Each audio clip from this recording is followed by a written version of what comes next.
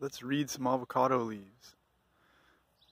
So here's a, a little, um, this is a just a seedling avocado tree.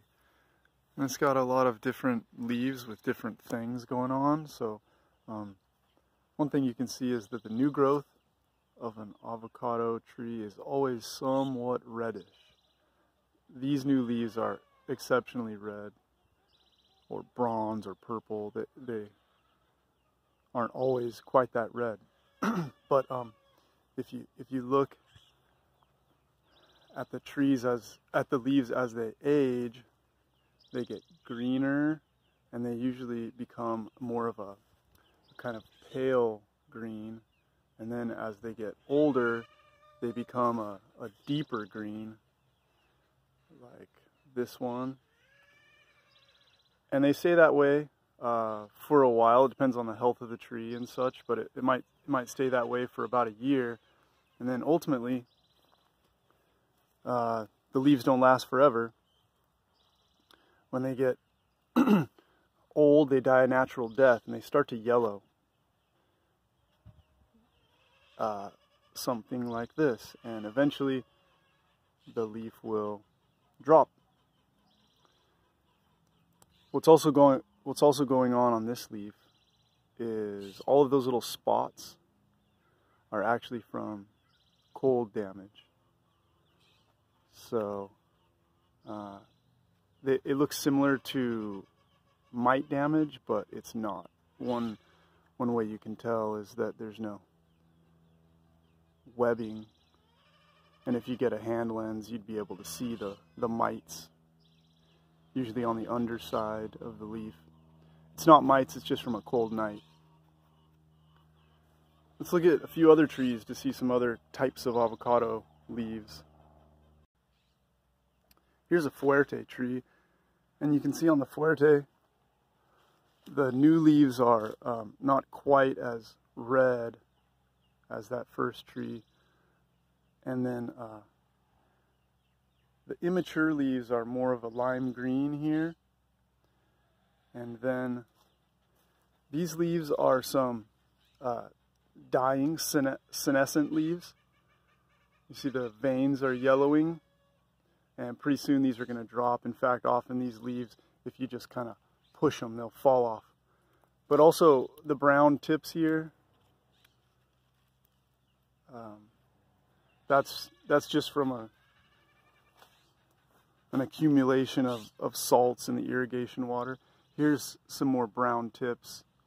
Not a big deal if you have little brown tips like that, but that's uh, that's salt damage, usually chloride when it accumulates in the tips like that.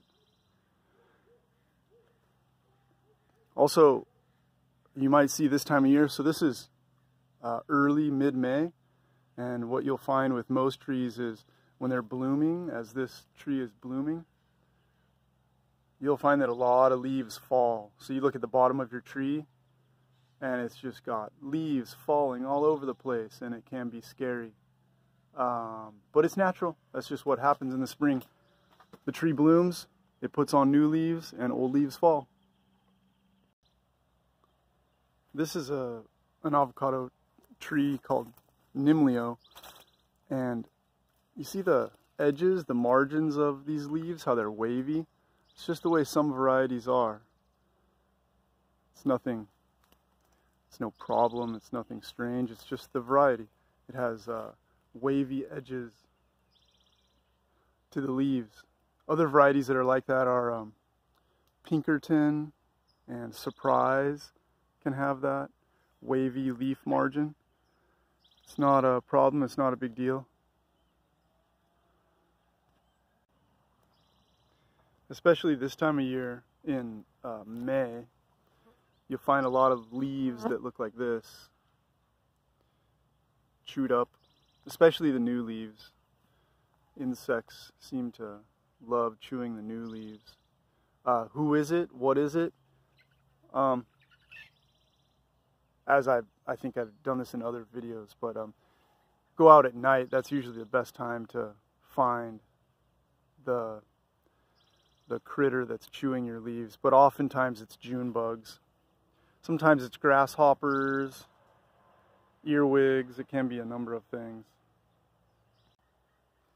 Another natural characteristic of some avocado varieties is that their leaves are just taco shaped.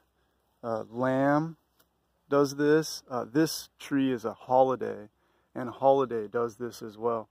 The, the leaves just naturally curl up like that. That's their natural shape, kind of like a taco shell. It's nothing to worry about. It's just the natural shape of their leaves. Um, on the other hand, like um, if a leaf, an avocado leaf, is doing, let's say, the opposite, then it means it's thirsty. Let me uh, show you um, a, a pretend example. So these are leaves on a Hass tree. And normally they're um, they're flatter. They're not taco shaped, but they but they're upright. They're perky. You know, they, they, they don't generally sag or wilt or droop down. I'm talking about the individual leaves. So if a tree is um, well hydrated, this is what their leaves look like. On the other hand, if you ever see avocado leaves that look like this, they're kind of bent at the middle and the tips are sagging like that. That's an indicator of thirst. That's what the leaves of an avocado tree will do if it's thirsty. So um, give it water immediately if you see that.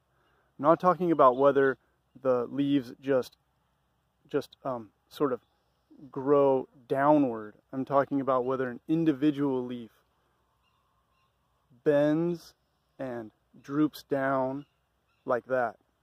That's an indicator of thirst.